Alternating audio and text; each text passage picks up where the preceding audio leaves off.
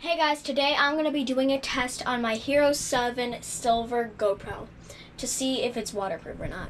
So, as you can see, I'm recording on the GoPro right now.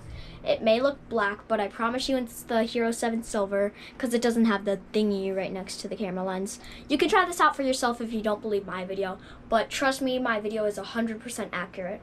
So, I have my water right here. I'm probably going to regret this. I'm really, really nervous. But I've seen other people do it and theirs turned out fine. So let's just get into it. Okay. Three, two, one.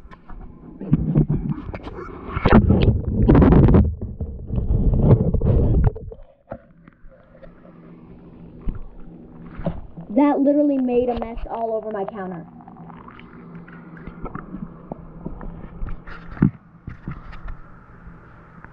Oh my god.